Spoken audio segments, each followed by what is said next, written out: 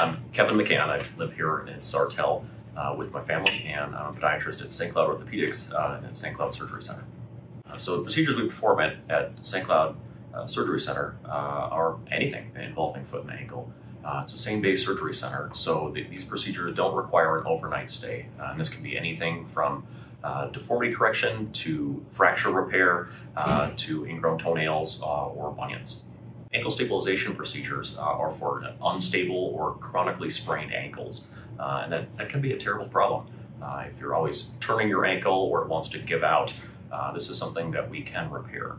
So this has come a long ways in the last eight years. Uh, we started using uh, things like bone-to-bone anchor devices to greatly decrease the recovery.